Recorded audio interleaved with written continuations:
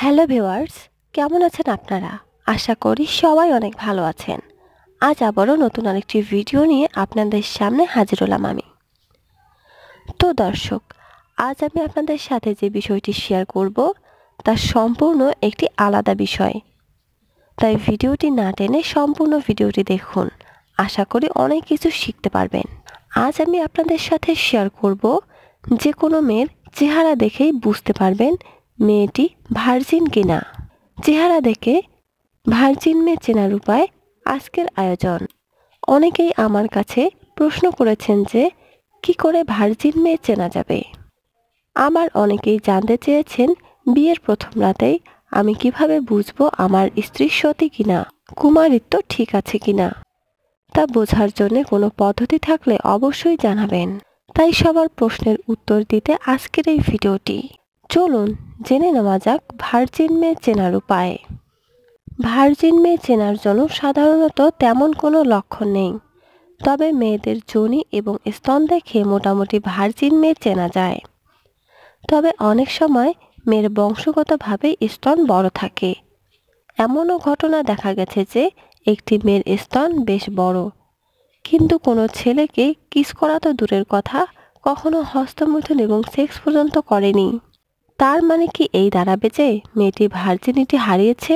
মোটেই নয়। আবার এমনও ঘটনা রয়েছে যে কোনো মেয়ে তার জীবনে প্রথম সেক্স করেছে, কিন্তু কোনো রক্তপাত হয়নি।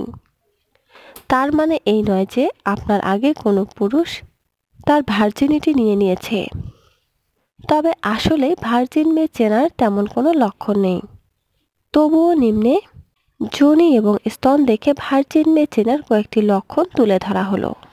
যোনি লেবিয়া মেজোরা অর্থাৎ বাইরের পাপড়ি প্রায় সম্পূর্ণভাবে একসাথে লেগে থাকবে এবং মুখ দেখা যাবে না।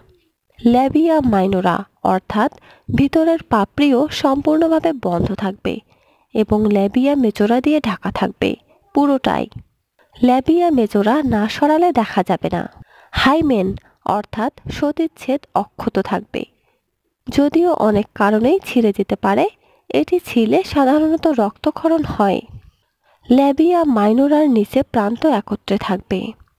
ক্লাইটোরিস খুব ছোট এবং এর আবরণকারী চামড়াও পাতলা হবে। জনিপথ সরু এবং ভিতরে ভাঁজগুলো কম মসৃণ হবে, ভাঁজ অনেক বেশি হবে। স্তন স্তন ছোট হবে, চ্যাপটা হবে গোল নয় জিরো হবে, তুলতুলে নয়। নিপলের চারপাশে যে গাঢ় অংশ থাকে, তার রং গোলাপি থেকে হালকা বাদামি রঙের মতো হবে এবং এই অংশ আয়তনে ছোট হবে। নিপলের আকার ছোট হবে। সিউডো ভার্জিন অনেক সময় অনেক মেয়ের কয়েকবার যৌন মিলনের পরেও হাইমেন বা সতীচ্ছেদ অক্ষত থাকে। এদের সিউডো ভার্জিন বা নকল ভার্জিন বলা হয়, তবে এর হার অনেক কম। সাধারণত এভাবেই একটা মেয়ের ভার্জিনিটি চিহ্নিত করা যায়।